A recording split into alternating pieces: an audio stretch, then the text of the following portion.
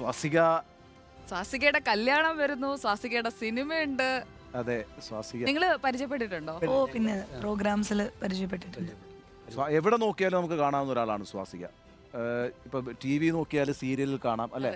പിന്നെ അല്ലെങ്കിൽ സീരിയലിൽ ഇല്ലെങ്കിൽ പിന്നെ അതിന്റെ ഇടയിൽ പരസ്യത്തിൽ ഉണ്ടാവും അല്ലെ? അതല്ലെങ്കിൽ ഏതെങ്കിലും മൂവിയിൽ ഉണ്ടാവും. ആങ്കറിംഗ് ഉണ്ടാവും. അല്ലെങ്കിൽ അവതാരകയായിരിക്കും. ഇനി അതും അല്ലെങ്കിൽ പിന്നെ ഡാൻസർ ആയിട്ട് വരും അല്ലെ സ്റ്റേജിൽ. അതെ അതെ. അല്ലെ? നാടകം ചെയ്തിട്ടുണ്ടോ? ആ ചെയ്തിട്ടുണ്ട്. ഡ്രാമയിലുണ്ടായിരുന്നു പാട്ട് പാടുവോ? പാട്ട് വലിയതായിട്ടില്ലെങ്കിലും പാടാറുണ്ട്. പക്ഷെ ഇപ്പൊ പാടിയ ചിലപ്പോൾ ശരിയാവില്ല. വോയിസ് ഞങ്ങൾക്ക് ഉണ്ടല്ലോ പിന്നെ പ്രശ്നമില്ലല്ലോ. സ്വാസികയുടെ ഒരു പ്രധാനപ്പെട്ട ദിവസമാണ് അല്ലെ? സ്വാസികയുടെ സിനിമ അല്ലേ? സിനിമ ഇറങ്ങി. അതെ. എങ്ങനെയുണ്ട് കമലിന്റെ സിനിമ? കമൽ സാറിന്റെ സിനിമ. എങ്ങനെയുണ്ട് റെസ്പോൺസ് എന്ന് വെച്ചാൽ ഇപ്പോൾ ഒരു മിക്സഡ് റിവ്യൂ ആണ് കേൾക്കുന്നത്. കുറേ ആളുകൾക്ക് അതൊരു സ്ത്രീപക്ഷ സിനിമയാണ് എന്നുള്ളൊരു അങ്ങനത്തെ ഒരു ചിന്തയിലുണ്ട്. ചില ആൾക്കാർക്ക് അത് രണ്ട് രീതിയിലും ഉൾക്കൊള്ളാൻ പറ്റുന്നുണ്ട്. അതിന്റെ ടോപ്പിക് അങ്ങനത്തെ ഒരു സെൻസിറ്റീവ് ടോപ്പിക് ആയതുകൊണ്ട് അതിനെ ഇനി ആൾക്കാരെ എങ്ങനെ ഉൾക്കൊള്ളും എന്നുള്ളത് വരും ദിവസങ്ങളിലാണ് അറിയാൻ പറ്റുള്ളൂ. നമ്മൾ ഈ പണ്ട് തൊട്ടേ കളിയാക്കാനായിട്ടൊക്കെ ഈ സിനിമ കല്യാണം ആകുമ്പോഴേക്കും ഏഴ് സുന്ദര രാത്രികൾ. കറക്റ്റ് ഏഴ് ദിവസമേ ഉള്ളൂ കല്യാണത്തിന്. അതെ. ഇരുപത്തി ആറാം തീയതി സ്വാസികയുടെ കല്യാണമാണ്. അപ്പോൾ കല്യാണം രണ്ട് വർഷത്തെ പരിചയം വിവാഹത്തിലേക്ക് എത്തുന്നു എപ്പോഴും ഇന്റർവ്യൂകളിൽ വിവാഹത്തെക്കുറിച്ചൊക്കെ ചോദിക്കുമ്പോഴേക്കും സമയമാകട്ടെ പറയാം. പക്ഷേ ഞങ്ങളുടെ അടുത്ത് വന്നപ്പോഴേക്കും സമയമായി. ശരിക്കും സമയമായി. അപ്പോൾ കല്യാണ വിശേഷം കൂടി നമ്മുടെ പ്രേക്ഷകരോട് പ്രേക്ഷകരെ ക്ഷണിക്കാം. നമുക്കിവിടെ ഔപചാരികതയൊന്നും വേണ്ട. അതെ സ്വാസിക ഫാൻസ് അതെ അങ്ങനെ പ്രശ്നമുണ്ട്. സ്വാസികയുടെ യഥാർത്ഥ പേര് പൂജ. പൂജ.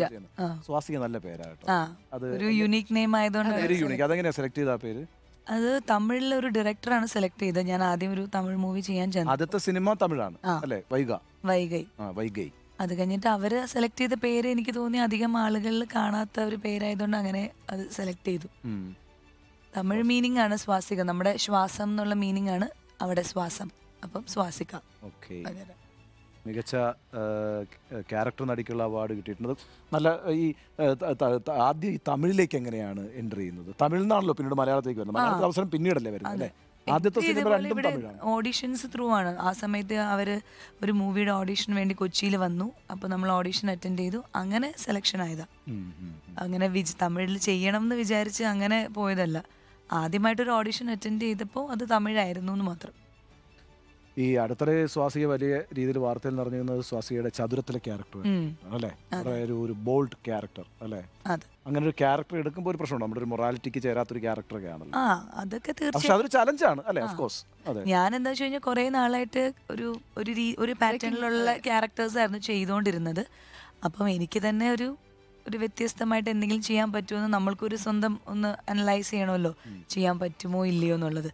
കറക്റ്റായിട്ട് അങ്ങനെ ഒരു ഡയറക്ടർ അങ്ങനെ ഒരു കഥയുമായിട്ട് വന്നപ്പോൾ അങ്ങനെ ചൂസ് ചെയ്തതാണ്. പിന്നെ ബാക്കിയുള്ള സൈഡൊക്കെ സെക്കൻഡറി ആയിട്ടാണ് ആലോചിച്ചത്. ഫസ്റ്റ് നമുക്ക് എക്സ്പ്ലോർ ചെയ്യാൻ എന്തെങ്കിലും പറ്റുന്ന ഒരു ക്യാരക്ടർ ആവട്ടെ എന്ന് വിചാരിച്ച് അങ്ങനെ സെലക്ട് ചെയ്തു. പിന്നെയാണ് ആൾക്കാർ എന്ത് പറയുമായിരിക്കും? അല്ലെങ്കിൽ ആ ക്യാരക്ടറിന്റെ ആ ഷെയ്ഡ്സ് കുറച്ച് നെഗറ്റീവും അങ്ങനെ ഒരു നല്ലൊരു മെസ്സേജ് കൊടുക്കുന്ന ഒരു ക്യാരക്ടറൊന്നും അല്ലല്ലോ. അതൊക്കെ പിന്നീടുള്ള തോട്ട് പ്രോസസ് ആയിരുന്നു. ആദ്യം നമുക്ക് നന്നായി പെർഫോം ചെയ്യാനുള്ള ഒരു സ്പേസ് ഉണ്ടോ എന്ന് നോക്കി അങ്ങനെ ചൂസ് ചെയ്തു.